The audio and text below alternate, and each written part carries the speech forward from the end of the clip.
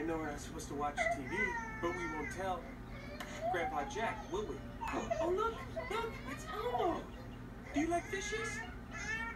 You don't like fishes?